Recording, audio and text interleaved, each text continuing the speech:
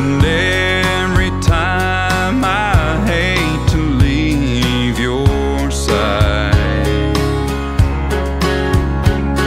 But now